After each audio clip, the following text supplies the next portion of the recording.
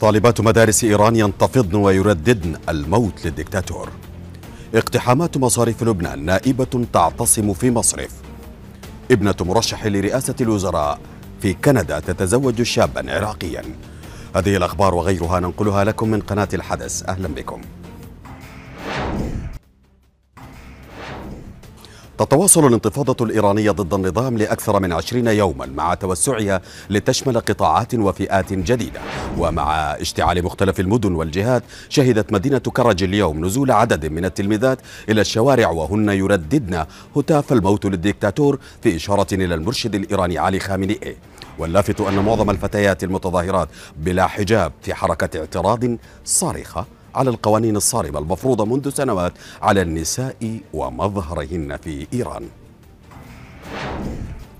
في لبنان وفي أحدث عمليات اقتحام المودعين للمصارف مطالبين بأموالهم اعتصمت النائبة سينتيا زرازير داخل بنك بيبلوس فرع أنطالياس بعدما طالبت بودائعها دون جدوى.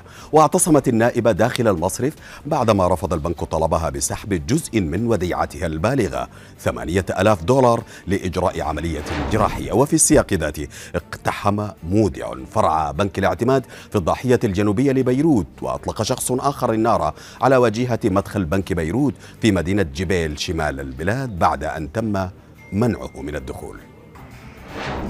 اشتعلت وسائل التواصل الاجتماعي في السودان بشكل كبير خلال الساعات الماضية بسبب صور جمعت رئيس حزب المؤتمر السوداني السابق والقيادي في الحرية والتغيير إبراهيم الشيخ في القاهرة. وكذلك عضو مجلس السيادة الفريق أول ياسر العطا. الصورة الصور نشرها عضو في الحزب على مواقع التواصل قائلا إن العطا زار الشيخ الذي يتلقى العلاج في القاهرة. بعد الجدل الواسع الذي أثارته الصور اضطر الحزب إلى إصدار بيان قائلا إن نشر الصور تصرف فردي ولا يتسق مع موقفه المقاوم للسلطة الحالية وأنه سيحقق في الحادثة. في خطوة مفاجئة في كندا أعلنت ابنة أحد أكثر الوزراء اليمنيين تشددا في البلاد زواجها. من شاب عراقي الأصل وكشفت كايلا فورد ابنة رئيس وزراء مقاطعة أونتاريو الكندية والمرشح لخلافة رئيس الوزراء الحالي كشفت عن ارتباطها بالشاب العراقي الكندي محمد هادي كمونة الذي يقال إنه يعمل ضابطا في الشرطة الكندية. وجرت مراسم الزواج في فندق بمدينة بيرلينغتون الكندية ونشرت كايلا مقاطع فيديو وصورا وثقت الحفل حازت على آلاف التفاعلات على موقع إنستغرام. فتحت دراسة فرنسية بل فتحت دراسة فرنسية الطريق أمام بروتوكول يجعل العلاج الكيماوي لمرض السرطان أكثر بساطة.